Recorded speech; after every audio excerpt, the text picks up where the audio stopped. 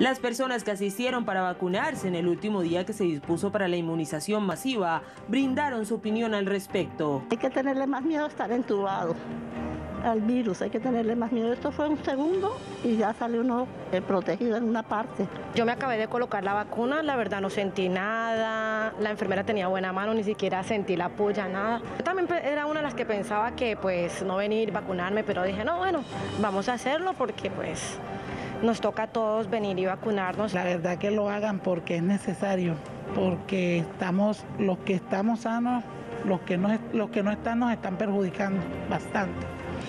Gente irresponsable que hay. Por ejemplo, yo vivo en un barrio donde la gente no se cuida para nada. Excelente, eso es, una, es bueno para todo el mundo que tiene que vacunarse, pues, tanto para él como para las personas que lo rodean a él. Pues que salgan a vacunarse para que guarden la vida de ellos y de, su familiar. Al cierre de hoy, más de 3.000 personas fueron inmunizadas en la isla de San Andrés para sumar a las más de 19.000 vacunas que se aplicaron durante el fin de semana.